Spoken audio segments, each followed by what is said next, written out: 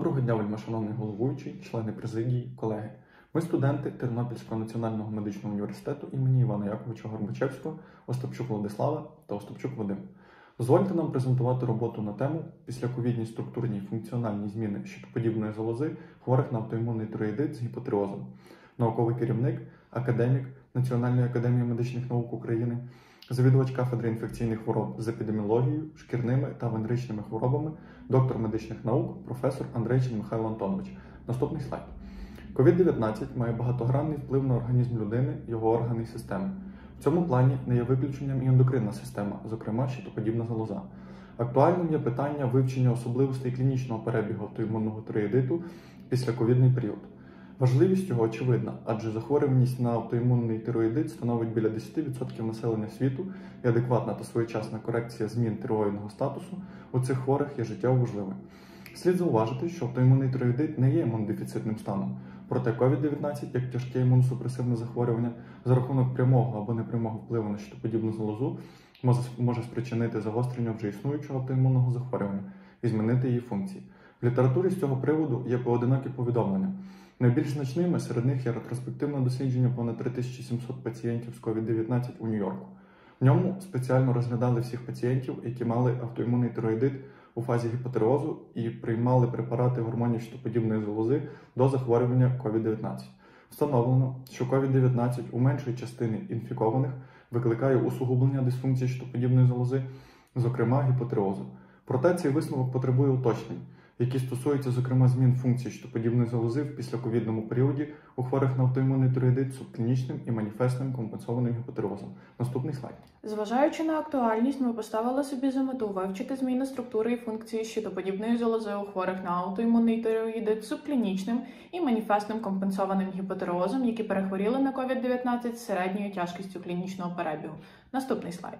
Мету роботи реалізували через вирішення таких завдань. За даними ультразвукового дослідження, вивчити зміни структури щитоподібної залози у хворих на аутоімунний тиреоїдит, які перехворіли на COVID-19 та порівняти їх з показниками до захворювання на коронавірусну інфекцію.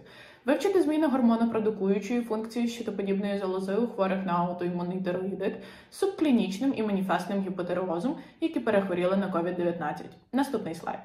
Обстежено 35 хворих на аутоімунний тироїдит, які перехворіли COVID-19 з клінічним перебігом середньої тяжкості і звернулись впродовж 2-3 місяців в зв'язку з погіршенням загального стану та відчуттям дискомфорту в ділянці передньої поверхні шиї. Усі хворі жінки у віці від 21 до 49 років. До COVID-19 у восьми з них мав місце аутоімунний тироїдит з субклінічним гіпотереозом, перша група, і е, у 27 з них аутоімунний тироїдит з маніфестним гіпотерозом стадії медикаментозної компенсації препаратами тероксину. Друга група. Наступний слайд. При зверненні проводили загальне клінічне обстеження, ультразвукове дослідження щитоподібної залози і визначення її гормональної функції за показником тиреотропного гормону. Отримані результати порівнювали з відповідними показниками до захворювання на COVID-19. Оцінювали також зміни дози замісної терапії препаратами тероксину як показника функціональної спроможності залози у синтезі гормонів. Цифрові дані оброблені статистично. Наступний слайд. При оцінці результатів ми виявили, що основним приводом звертання хворих було погіршення загального стану і наростання симптомів наявного аутоімунного триїдиту. Основними скаргами були постійний неінтенсивний біль, відчуття тиснення та стороннього тіла, на передній поверхні шиї, зміни голосу, мерзлякуватість, сонливість, збільшення маси тіла. При обстеженні в усіх пацієнтів визначалась болючість проекції щитоподібної залози, сухі шкіри, норма бобрадикардія. Наступний слайд. УЗД дослідженням визначали об'єм і структуру залози. Об'єм залози порівняно з даними до COVID-19 у двох хворих першої групи і у п'яти другої збільшився на 1,5-3 см кубічних. Структурні зміни виявлені в усіх хворих. У пацієнтів першої групи до COVID-19 визначався гіпоохогенний і гетерогенний варіант ультразвукової картини хронічного тироїдиту. Наступний слайд. Після коронавірусної інфекції в усіх хворих у межах цього варіанту спостерігалось наростання лімфоцитарної інфільтрації паренхіми залози, та у трьох е, спостережених з'явилось поодинокі вогнищеві гіпоохогенні зміни. Наступний слайд. У пацієнтів другої групи до COVID-19 мали місце структурні зміни, характерні для псевдомікровузлового варіанту. У 21 з них визначались множинні локуси вогнищевих змін, які формують окремі гіпоохогенні зони у вигляді псевдовузлів по типу швейцарського сиру, мілкі псевдовузли на фоні переважаючої паренхіми. І у шістьох випадках по типу медових сот. зливні мілкі псевдовузли на фоні сполучної тканини і незначної кількості паренхіми. Через 6 місяців після перенесеного COVID-19 кількість варіанту по типу медових сот збільшилась з 6 до 11, що можна розцінювати як активне прогресування автоімунного процесу в залозі. Наступний слайд. Функцію щитоподібної залози за показником тиреотропного гормону визначали при зверненні, тобто через два місяці після перенесення COVID-19 і повторно через півроку. Дослідження показали, що у вказані періоди показник тиреотропного гормону змінювався. Так, у двох хворих першої групи через два місяці після COVID-19 рівень тиреотропного гормону суттєво не змінився, а у п'яти знизився у півтора-два рази в межах еутерозу. Ці зміни можна пояснити активацією деструктивних процесів у залозі, на що вказують дані УЗД дослідження. Через півроку у чотирьох пацієнтів клінічно і лабораторно визначався маніфестний гіпотереоз, який компенсований замісною терапією тироксином. У пацієнтів другої групи до COVID-19 був маніфестний гіпотереоз у стадії медикаментозної компенсації. На момент звернення після перенесеного COVID-19 у 21 хворої тиреотропний гормон був вище референтних значень і становив у межах від 6,5 до 13,7 міжнародних одиниць на літр. Після корекції дози замісної терапії і збільшення її на 25-50 мікрограм на добу при дослідженні через півроку у всіх випадках визначався медикаментозний еутероз. Наступний слайд. Таким чином можна зробити наступні висновки. COVID-19 у хворих на аутоімунний тироїдит спричиняє активацію лімфоцитарної інфільтрації паренхіми щитоподібної залози, прогресування аутоімунних процесів і зниження функції залози. Після перенесення коронавірусної інфекції у пацієнтів з субклінічним гіпотереозом спостерігається наростання лімфоцитарної інфільтрації паренхіми залози та поява поодиноких вогнищевих гіпогенних змін. Функціонально визначається зменшення синтезу тероїдних гормонів, яке потребувало застосування замісної терапії препаратами тироксину. У пацієнтів з маніфестним гіпотерозом COVID-19 викликає погіршення структурних змін щитоподібної залози, про що свідчить збільшення кількості випадків псевдовузлових форм по типу медових сот. При цьому гормоносинтетична функція залози погіршувала, що потребувало збільшення дози замісної терапії. Наступний слайд. Дякуємо за увагу. Доброго дня.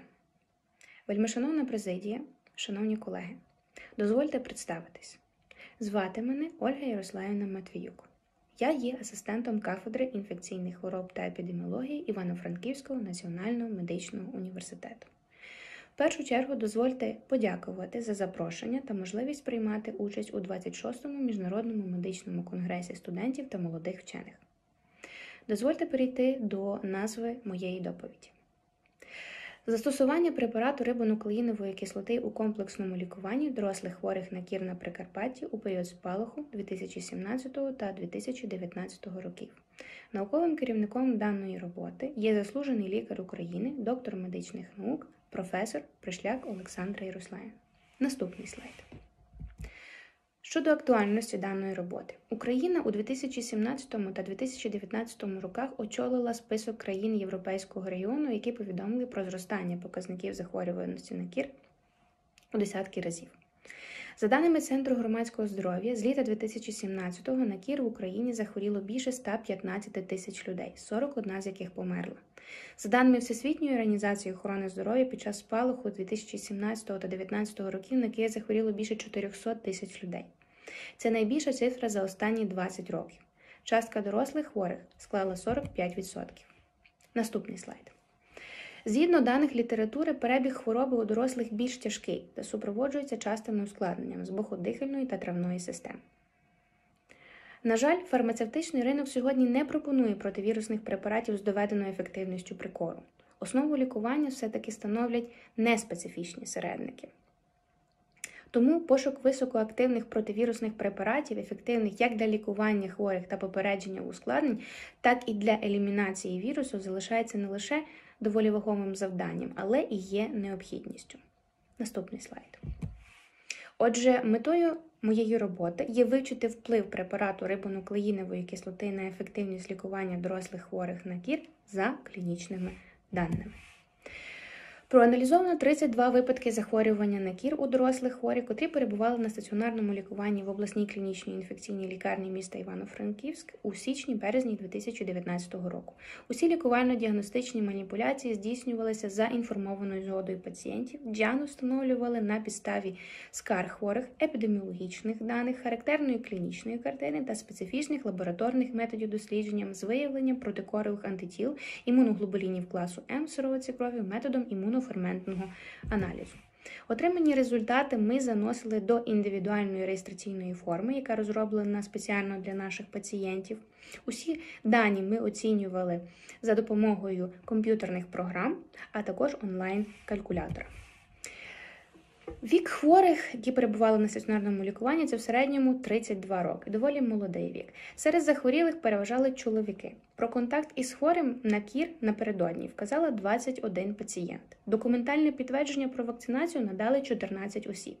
У більшості пацієнтів встановлено середній ступень тяжкості захворювання, тобто це 28 осіб із 32 досліджуваних. Тільки 4 пацієнти в даному випадку мали тяжкий перебіг захворювання. Госпіталізація хворих на кір середнього ступеню тяжкості відбувалася на 3-4 добу, натомість як пацієнтів із тяжким перебігом захворювання на 4-5 добу. Розподіл хворих на дві групи здійснювався наступним чином. До першої групи війшли 16 осіб, котрі отримували базисну терапію, до якої входив палатний режим, е, дезінтоксикаційні середники, протизапальні, антигістамінні, протикашлеві засоби, деконгестанти, гігієнічні заходи стосовно ротової порожнини та е, слезової очей.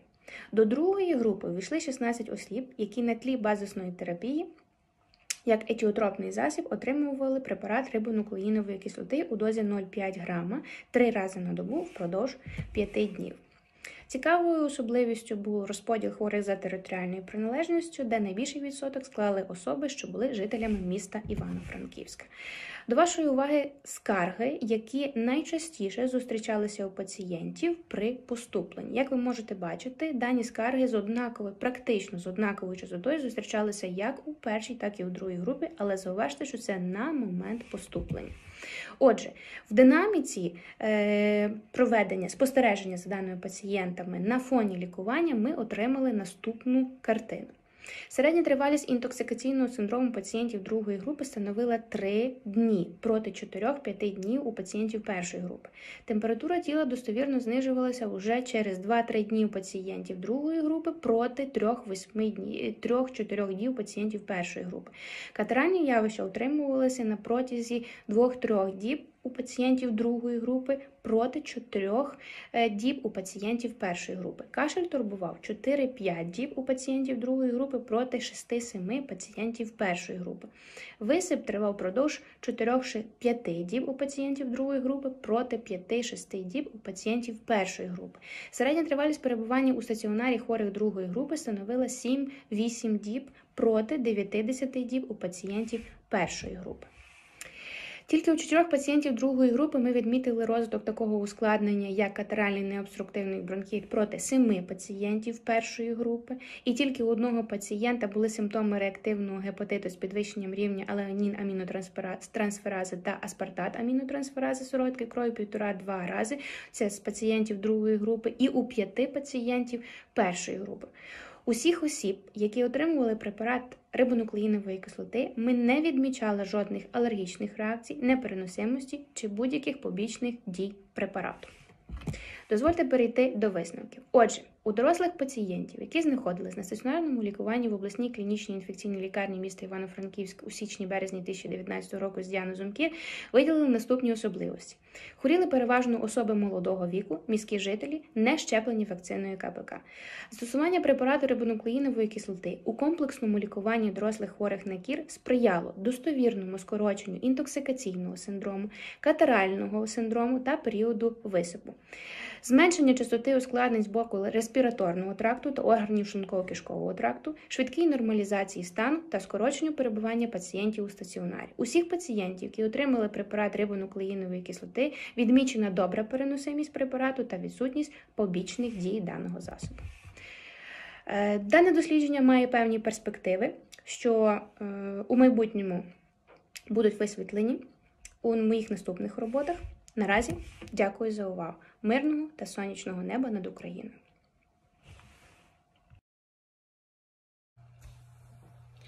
Слава Україні! Я лікар-дерматолог, косметолог Ященко Оксана Вікторівна. Темою нашої роботи є дерматоскопія як метод діагностики оцінки ефективності лікування деяких дерматозів обличчя. Науковий керівник, доктор медичних наук, професор Світлана Олександрівна Галникіна. Актуальність. Дерматоскопія це неінвазивний метод оптичної діагностики захворювань шкіри, який дозволяє розглянути досліджуваний об'єкт в 6-40 разів. Перша згадка про мікроскопію відноситься до 1663 року. Кольчаус досліджував кровоносні судини нігтів, і в 1893 році Уна виявив, що роговий шар епідермісу запобігає проникненню світла в глибокі шари шкіри і вів термін діаскопія. В 1920 році Шаффер описав мікроскопію шкіри пацієнтів із сифілісом, туберкульозом і ввів термін дерматоскопія. Метою нашої роботи була оцінка ефективності лікування деяких дерматозів обличчя з допомогою дерматоскопії. Матеріали й методи. У дослідженні брали участь 36 пацієнтів, серед яких були як чоловіки, так і жінки віком від 19 до 35 років встановленими діагнозами акне легкого, середнього та важкого ступенів тяжкості 19 пацієнтів, розація 11 пацієнтів, періоральний дерматит 5 пацієнтів і саркоїдозом 1 пацієнт. Наступний слайд. Пацієнт 24 роки, діагноз вугрова хвороба важкого ступеня.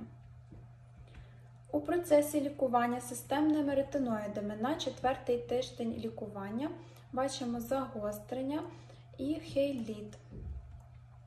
П'ятий місяць лікування ретиноїдами. Спостерігається значне покращення, зникнення запальних елементів. Результат після 12 місяців лікування ретиноїдами. Наступний слайд. Пацієнтка 23 роки. Діагноз акне середнього ступеня тяжкості, постакне, гіперпігментація. Дерматоскопія даної пацієнтки з акне показує розширені устя сальних залоз та нервові екскоріації. Пацієнтка, наступний слайд. Пацієнтка 19 років з акне середнього ступеня тяжкості. Дерматоскопія пацієнтки. Також при дерматоскопії ми бачимо розширені устя сальних залоз і е, куперозну сітку в крилах носа. Пацієнт, пацієнтка 24 роки, акне легкого ступеня, невротичні екскоріації. З допомогою дерматоскопії. Дерматоскопія вона допомагає нам побачити крововилив неправильних обрисів внаслідок механічного самоушкодження. Наступний слайд. Пацієнтка 35 років е, з діагнозом розація папулопустульозна форма. Дерматоскопія пацієнтки. При дерматоскопії ми бачимо стоншення епідермісу, множинні, розширені судини полігональної форми, стоншення стінок судин, стоншені поодинокі лусочки. Наступний слайд. Дерматоскопічне зображення шкіри пацієнтки. Ось ми можемо побачити у динаміці через Е, на початку лікування і через 30 днів лікування. Наступний слайд. Пацієнтка, пацієнт 29 років, саркоїдоз шкіри. Це найбільш поширене екстрапульмональне ураження.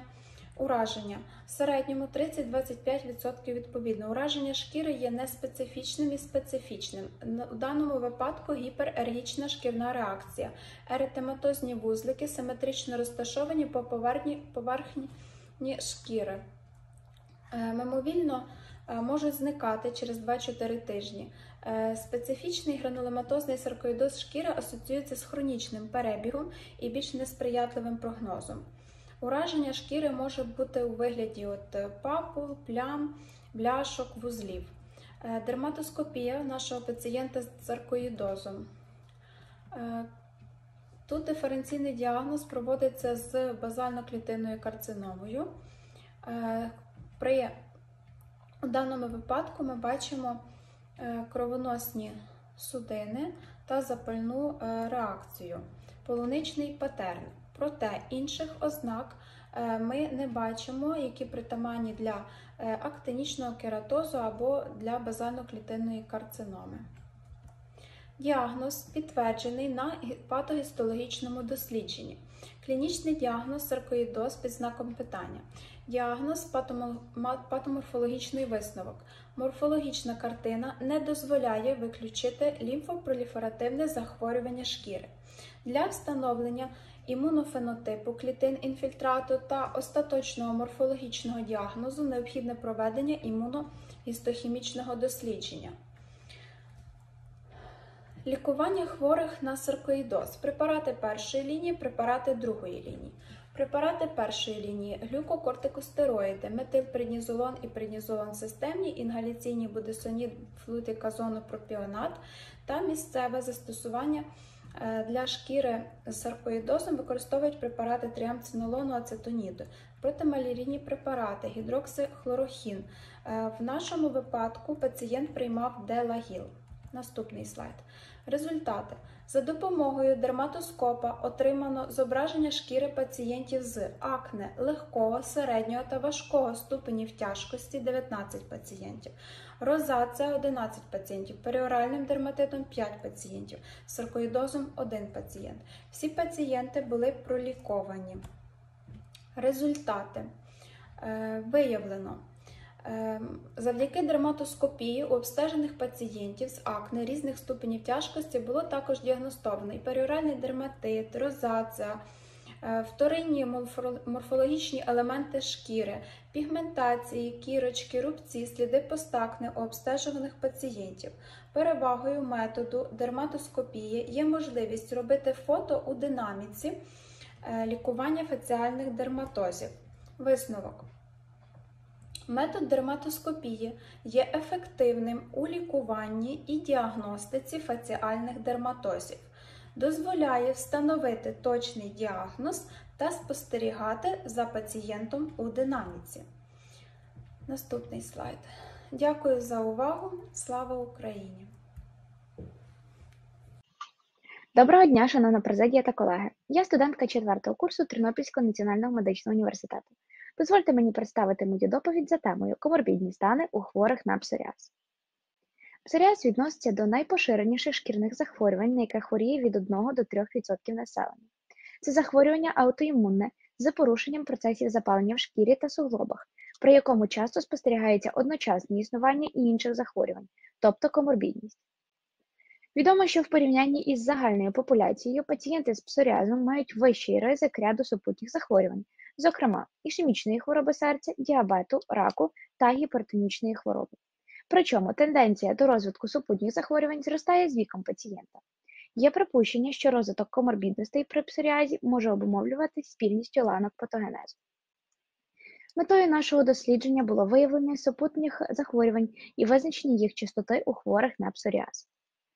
Отже, нами проведено ретроспективний аналіз історії хвороби 58 пацієнтів з псоріазом віком від 29 до 63 років, 34 чоловіків та 24 жінок, із тривалістю захворювання від 2 до 12 років та коливанням індексу PASI Psoriasis Area Severity Index від 6 до 27 балів. Супутні захворювання було виявлено у 36 хворих, що складає 62%. Найчастішою супутньою патологією була артеріальна гіпертензія у 22% пацієнтів. У 15 пацієнтів, що становить 41,7%, були діагностовані захворювання серцево-судинної системи. Рідше були виявлені захворювання шлунково-кишкового тракту у 25%, патологію ендокринної системи у 19% пацієнтів та захворювання сечостатевої системи у 14% пацієнтів. Також ми провели порівняльну оцінку значень ПАСІ у хворих на псоріаз з коморбідностями і без. Виявили вищі значення ПАСІ 23,1 з похибкою 1,4 бали у хворих незалежно від виду супутньої патології, порівняно з таким у пацієнтів без соматичних захворювань 10,2 з похибкою 0,7 бали, що свідчить про вплив коморбідностей на перебіг дерматозу. Результати проведеного нами дослідження підтверджують важливість проблеми коморбідностей при псоріазі і мають практичне значення. Наведені дані повинні спрямовувати дерматовенерологів до ретельного діагностування коморбідних серцево-судинних та інших захворювань при псоріазі, визначення та модифікації факторів ризику і проведення своєчасної і адекватної терапії. Дякую за увагу! Доброго Доброго дня, мене звати Ткач Євгенія Вікторівна. Я студентка п'ятого курсу. Е, Спільно з науковим керівником, доктором медичних наук, професором Галникіною Світланою Олександрівною підготували наукову роботу на тему стрес асоційовані дерматози. Актуальність у зв'язку з військовим станом в Україні дедалі більше людей зазнають впливу стресових ситуацій, що у більшості випадків негативно впливає на здоров'я, зокрема на стан шкірного покриву. Наступний слайд. Е, Шкіра та нервова система розвиваються з одного спільного зародкового листа ектодерми. Між ними існує прямий зв'язок, внаслідок чого нервова система напряму впливає на шкіру. Наступний слайд. Е, Можемо спостерігати патогенез стресу. Е, Внаслідок е, впливу стресу на організм виникає викид кортизолу, адреналіну, гістаміну, гіперплазія сальних залоз. Також це, в свою чергу, веде до зниження імунітету. Наступний слайд. Мета роботи виявити найбільш поширені дерматози, які виникають під час військового стану в умовах постійного стресу. Наступний слайд матеріали та методи. Е, Після початку бойових дій та протягом 30 днів у клініці було зафіксовано різке збільшення пацієнтів зі скаргами на висипання з локалізацією на лобі, навколо губ, спині та грудях, лущення шкіри, появу болючих везикул, почервоніння, гіперчутливість. Обстежено 25 пацієнтів віком від 18 до 40 років, в яких в анамнезі сильні стресові ситуації. Наступний слайд. Ем, Результати досліджень з 25 обстежуваних пацієнтів було діагностовано у 9 осіб акне легкого та середнього ступеня тяжкості, з яких у 5 акне виникло вперше, а у 7 внаслідок загострення. У 5 осіб себорейний дерматит, у 5 осіб різке загострення псоріазу, у 3 осіб психогенна кропив'янка, у 2 герпес зостер та у однієї особи розація. Е, Праворуч можемо спостерігати діаграму результатів. Наступний слайд. Е, Статистика діагностованих захворювань в арт-клінік Е, за 4 місяці. Спостерігаємо різке підвищення захворювань в останні 2 місяці лютий та березень. Наступний слайд. Результати лікування. Акне. е, Даний випадок Лікування проводилось відповідно ступеня тяжкості. При першому ступені підбір індивідуального догляду за типом шкіри, при другому ступені плюс доксициклін 100 мг, одна таблетка два рази на добу протягом 14 діб. Третій і четвертий ступінь додаємо до лікування ретиноїди. Наступний слайд. Герпес зостер. Даний випадок лікувався ацикловіром 200 мг 5 разів на добу з 4-годинним інтервалом за винятком нічного періоду протягом 14 днів. Пенцикловір мазь наносити на уражені ділянки шкіри кожні 4 години протягом 5 днів. Наступний слайд. На даному слайді спостерігаємо псоріаз. Перше фото е, звернення пацієнтки та е, наступне фото після лікування. Наступний слайд.